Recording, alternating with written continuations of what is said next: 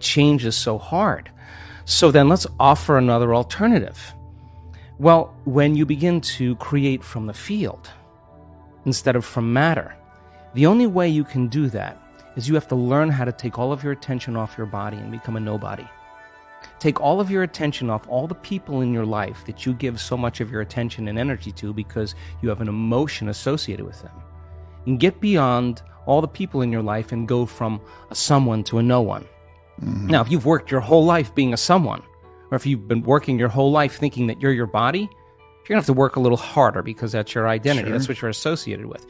And it's a it, long time of conditioning it's that you have to unwind. conditioning. And if this was easy, everybody would be doing it. So then you have to go get beyond all the things in your life, your cell phone, your computer, your car, and literally go from something to nothing. You have to take all your attention off the place you work, the place you live, the place you need to be, the place you're sitting, and go from somewhere to nowhere. You got to stop thinking about the predictable future and the familiar past and go right into the present moment and go from some time to no time. And if you do that properly, you become pure consciousness. And that's how you enter the field. Mm. Now, we've done the research on this. We call it getting beyond the self. Now, once you are pure consciousness, you're taking all of your attention off this three dimensional reality. Now, where you place your attention is where you place your energy.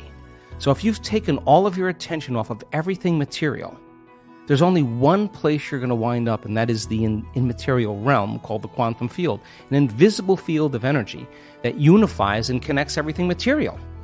So now, when you're creating from the field and you combine a clear intention with an elevated emotion, and you're connected and you feel connected, the suggestion of an alternative way to create is that when there's a vibrational match between your energy and some future reality, you actually no longer have to go anywhere to get it.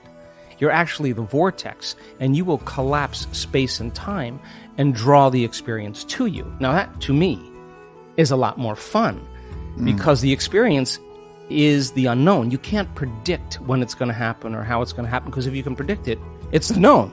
So then you have to lay down the very thing you use your whole life to get what you want for something greater to occur. Now, that goes against generations untold of conditioning and a lifetime of habituation, believing that we're, we're trapped in this material world.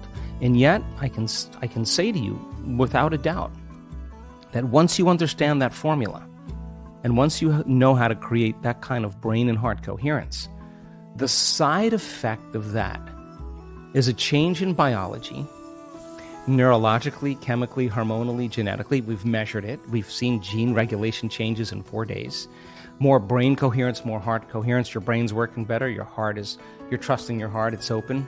There's different chemicals that are released. Oxytocin suppresses survival centers, resets the baseline of a person's trauma or shock. Your immune system goes up.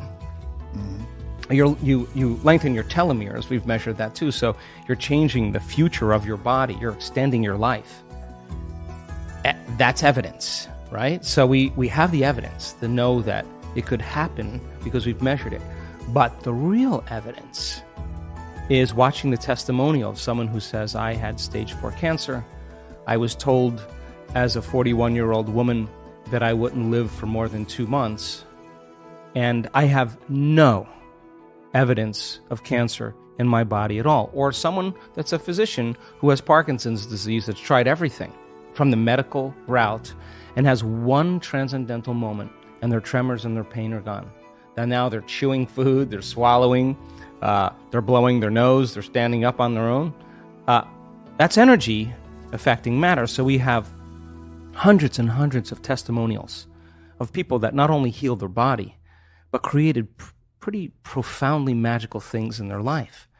So you have evidence in the scientific world, you have evidence in the practical world, and evidence is the loudest voice right now.